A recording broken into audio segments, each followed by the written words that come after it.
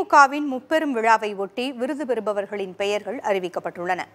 வருகிற பதினேழாம் தேதி சென்னை நந்தனம் ஒய்எம்சிஏ திடலில் திமுகவின் முப்பெரும் விழா நடைபெறவுள்ளதாக தலைமைக் கழகம் அறிவித்துள்ளது.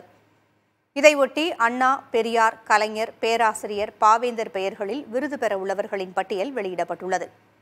அதில் பெரியார் விருது பாப்பம்மாளுக்கும் அண்ணா விருது அறந்தாங்கி மிசா ராமநாதனுக்கும் வழங்கப்பட உள்ளது.